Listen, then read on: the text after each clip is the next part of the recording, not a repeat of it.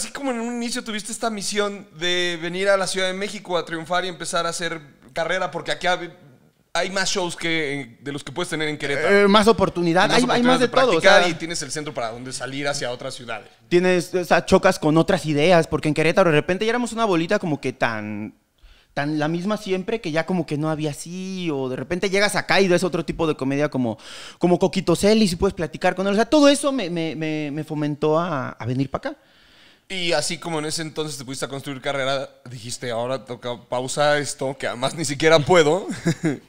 Y ahora tengo que empezar a construirme un altarcito a mí, ¿no? Y poner mi foto ahí, darme cuenta que ¿Y por dónde empezaste? La familia ayudó un chingo. la familia ayudó un chingo y también darme cuenta que pues de repente estabas mal de tu pancita y decías, ¿qué estoy haciendo mal? Claro, güey, pues estoy comiendo de la verga, desayunando de la verga, me voy a empezar a cuidar. Y empiezas por ahí, empiezas por ahí porque después viene el pedo de la mente. A mí el pedo este, de, del- de la barriga me, me causó ansiedad, mucha ansiedad, porque yo estaba así, ¿sabes cuando estás mal? ¿Sabes? Truena, este, te despiertas en la mañana y sientes aquí que te están poniendo, este, que te quema, dices, algo está mal. Y dices, ¿ya me voy a morir o qué? O sea, y empezó mi ansiedad así, bro, y empecé a ir a terapia, empecé a ponerme balines, esas palabras, o empecé a meditar, empecé a todo, y ya no sé ni qué me, ni cómo, cómo empecé como a encontrar el camino, pero sé que, pues lo estoy buscando, ¿no? O sea, agarras todas las formas posibles y dijiste, venga para acá, güey. Lo Sí, que sea necesario, Lo que sea, tengo, que tengo que leer, que tengo, porque yo no puedo estar así, porque nuestro trabajo nos exige estar, tratar de estar bien, ¿no? Antes de subirte a un escenario y no subirte con este pedo acá, porque mm, a pesar de que el escenario es tu, tu terapia, siente- bueno, al menos yo siento que no rindo cuando me subo con mis pedos, ¿no? Al- a, a- a tu escenario, a tu chamba, a tu, a tu, donde te desenvuelves. Te tienes que subir, lo decíamos ayer en el. en ya regresaron los lunes de show. beneficencia en el W139. Estén al pendiente todos los Muy buen show, muy buen de line Era un había un muy, muy buen Es lo que se procura, que haya muy, muy buenos lineups. Estábamos diciendo eso, como cuando llegas bien descansado, bien comido y todo, llegas en, en tu zona a dar el show. Y así no, te, no estés dominando al público como probablemente lo hizo alguien que no esté en su zona. Tú eh, traes un ritmo que dices, estoy, Estoy así. y traigo el delivery que se necesita traer hoy, ¿no? Sí, aparte, bueno, también a veces se, se va manejando el delivery, ¿no? Por ejemplo, a mí me pasa que cuando cuento algo, yo soy anecdótico en mis, en mis, en mis stand-ups, yo soy este, anecdótico, o sea, siempre cuento algo que me pasa, nunca me invento una situación, este... Entonces, de repente, el- mi proceso es como, voy a contar una tragedia que me pasó, o sea, el otro día empecé a cagar sangre, ¿no? Y es como, ay, sí me da miedo. Sí me da miedo eso, pero poco a poco le vas encontrando la comedia. Que fíjate, te voy a decir algo. Le, conté- le dije a mi proctólogo en una segunda cita, le dije, oiga, doc, ¿cómo está? ¿Cómo, ¿Cómo está? Y me dice, bien. Y le digo, ¿cómo va la chamba? Y dice, gracias a Dios, bien. Y yo, ¿qué? ¿Cómo que gracias a Dios, güey? Le digo, o sea, le estás rezando a Dios así de, Diosito, dame chamba. No, güey, por tu culpa, estoy- por tu culpa me está saliendo algo en el culo, güey. No seas culero, cabrón. aquí. Deja de rezarle a Dios para tener chamba, güey. Que digamos también. Solamente estás enfermando banda, bro, Ah, con esos sí, rezos, güey. Y yo pensando que es por los pinches Orinoco, culero. Que hay chambas que no puedes así como. Cuando, fallece- cuando falleció mi abuelito. Eh, vamos a cortar. Ok, platicamos eso en Patreon. Ok, entonces continúa la que teníamos y eh, damos un. Damos. Vamos a terminar tu punto y nos movemos. Ahí poco a poco. El, el- el punto era que hay, hay trabajos en los que no puedes desearle que te vaya bien. Adiós, güey. O sea, es político. No sé si sea políticamente incorrecto, tal vez como. Tienes una funeraria. ¿Qué haces? Me está yendo mal en mi trabajo. ¿Qué haces? Agradeces. Güey, qué bueno que me está yendo mal en mi chamba, güey.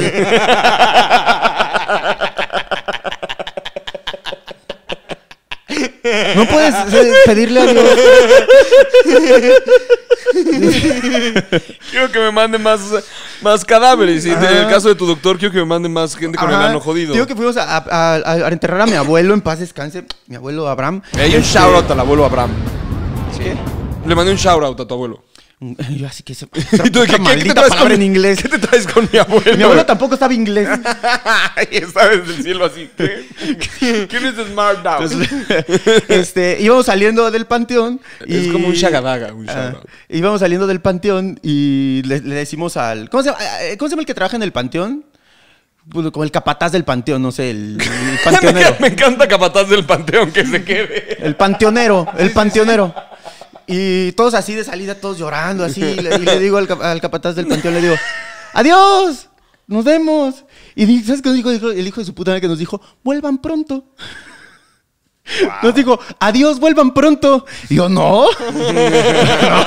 Espérate. Toco madera. ¿Qué te traes con mi familia, ¿Qué traes, culero? ¿Qué te traes probablemente conmigo? Sí, güey, no puedes desear que te vaya chido tu trago, o sea, no.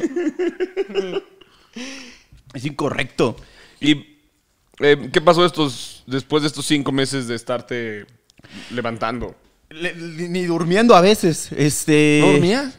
No, no dormía. Dormía nervioso, dormía preocupado, no, y- comía. Y eso que dormías un chingo, Tal güey, vez ya ¿no? todo lo que dormí en mi vida ya es factura, ¿no? También. Cuando, cuando llegaste y dijiste, estoy durmiendo mal, dije, Sandro, qué mal, porque no le seas insomnio a nadie, pero una parte de mí le hizo así. Sí, porque el Sandro siempre dormía bien rico, Sí, ¿no? Todo el pinche tiempo. Sandro. Dos horas seguidas, bro. Mm, mm. ¿Ahora dónde vamos? Aquí a Querétaro dos horas. Ay, me voy a dormir una horita.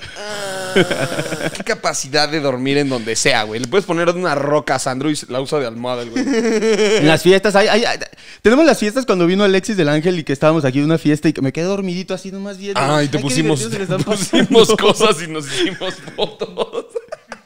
Pero ese día ni estaba borracho, o sea, ni estaba- solo la estaba pasando muy chido y dije, ah, es un momento con mis compas. Y mi, y mi pensamiento, Rich, es, estoy con mis compas, le estoy pasando chido. ¿Qué puede pasar? ¿Que me pinten unos bigotes y que me pongan su culo en la cara?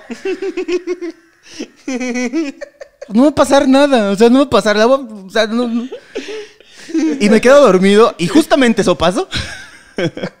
Fue fue un pedo muy frat boys. Fue, Fue un muy- pedo muy fue frat muy boys. chido. Estuvo chido la neta ese día. Estuvo muy divertido y fue como... Pero pasaste de entonces dormir delicioso a por la angustia no dormir. Sí, topas esta ansiedad de me voy a morir, este, ya se va a acabar el mundo, este, qué pedo, así, y, y, y el COVID. Y no dormía. Dormía y, pe- y tenía pesadillas, o sea, seguía pensando en eso, o sea, como que me cansaba de la pesadilla. Y te digo, dejé de comer. Y, güey, nunca había hablado esto en ante cámara, ni en el Instagram, ni nada. Este, Por eso, te, de comer. por eso te quería entrevistar, porque sabía que no solo lo viviste, sino ya lo Estoy superando. o sea, estás ya- superando, estás en Lo un... está confrontando. Lo estás confrontando, lleva un muy buen rato que lo estás, o sea, se te ve distinta la cara. Sí, y la actitud, y en la postura, y eh, eh, eh, todo se ve distinto en ti. Y por eso quería hablar de ese tema. Así que, date. Por, este, y pues así, o sea, uno, uno aprendía, que al principio te dicen, conócete, ámate, y no, no, me- no soy mi tipo.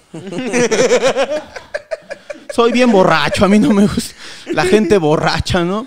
Este, y empecé a confrontarme, te digo, empecé como a quererte. Aprendes a valorarte, a decir, pancita, mucho tiempo te he metido una chinga, desayuno pozole casi todos los días, ¿qué te parece hoy te meto unas espinaquitas? Y así, y, es un hábito, es difícil, la verdad es difícil. al principio Pancita dice, ¿qué? Sí, ¿por qué está verde? ¿Por qué verde? O sea, ¿por qué estás comiendo algo verde? ¿Por qué no, has- por qué no entra ácido, no? ¿Por qué no? Y, y así, échale, entra el putazo de la mañana, ¿no? Y de repente algo bien ligerito y dices, órale, el probiótico, un yogurcito, un Y, y yogurcito. el estómago dice, gracias, Sandro. Gracias, bro, gracias. Y Gracias, levantas una rico. pesita y le haces así, y el, tu bracito dice, gracias, Sandro, necesitaba estirarme y moverme. Sí, ya no más estar ahí de huevón, por eso salieron de hemorroides, güey, por estar todo el pinche rato sentado. Este, y poco a poco, Rich, este, y la verdad, este, no es por, este, es estar el, de invitado este día, que estoy muy, muy agradecido y para mí es un honor, pero tocas temas muy chidos en el programa que, que al principio, vengo de Querétaro, vengo de un rancho, ¿no? Entonces yo cuando le decía a mis Un- un papás... puebli- no, un pueblito que está cerca de Querétaro. Un ¿Cómo se pueblito, llama? Buenavista, tres mil habitantes, 3.700 habitantes. Conoces a todos. Conoce a todos. Y todos te conocen a ti. Y, y todos somos familia, ¿eh? Si quieres tener una novia, tienes que investigar el parentesco directo, porque si no, puede que te metas en un problema. Como Sí. Carlos Vallarta que se puso a averiguar que, quiénes eran los como ídolos De, de Chicoloapa, de ¿no? Chicoloapan donde él nació y pues se dio cuenta que era el único. Entonces tú al igual de... Sí, de Buenavista, de tal vez. Buenavista. Tal vez haya sido yo el Pues único que ha salido en la tele. barco, ¿no? El restaurante y mi El abuelita salió en la tele también dándole la mano a un gobernador de Querétaro. Está en la familia entonces, ¿eh? Sí, es de familia, este pedo es de familia. Ah, sí que eso de la pantalla está en la familia. Sí, esto es la pantalla, viene en la sangre. Eh, y vengo de allá, entonces, pues nunca había tenido terapia, nunca había tenido este, ondas de, de decir, vamos a tratarnos de la mente. Tal vez tengas traumitas que no comprendas y por eso te comportas de tal manera, por eso tal vez te emputa esto, ¿no? Entonces, cuando lo empiezas a confrontar y, y agarras el toro por los cuernos y dices, a ver, sé que tengo este problema, tal vez este, mi, mi neurosis venga de, o sea, explote con el tráfico, pero ¿de dónde viene eso? ¿Cuál es el, cuál es el tema por el que está explotando mi neurosis o mi miedo a algo o mi ansiedad? La ansiedad me detonó tal vez por perder una relación o, o ver que mi ex ya está con otro güey y dices, verga, tengo ansiedad, pero ¿de dónde viene esa inseguridad? ¿Cómo la atacas desde, desde la raíz, desde el principio? Y eso es lo que estoy aprendiendo, porque antes dices, esto me emputa, soy celoso de este modo así. Sí, güey, pero ¿de dónde viene eso? O sea, aprende a atacar el- desde dónde el parteaguas en tu vida que hizo que te hicieras tal vez inseguro, tal vez celoso, tal vez miedoso, tal vez este eufórico, no sé, cualquier padecimiento que, que te pueda causar un problema, ¿no? O sea, sacar el porqué del porqué del porqué. No te vas al primer porqué, te vas al, siguiente. Escarbando así. Ay, güey, habíamos hablado de remar en cajeta, pero no habíamos hablado de tener que excavar, güey. Fíjate que esa parte ni De siquiera la enterrarte había... en cajeta, ¿no? De enterrarte en cajeta, ni siquiera la había considerado. Me acabas de así, así. Sí, ¿de dónde viene todo? O sea, Te- Tengo que encontrar el porqué del porqué del porqué. Exacto, porque l- cuando tienes un comportamiento, este, no sé, tal vez pasivo-agresivo, dices, ok, soy así, estoy siendo de la verga, lo voy a cambiar, pero ¿de dónde viene? ¿De dónde, de dónde- ¿Cómo te, qué te hizo ser así, no?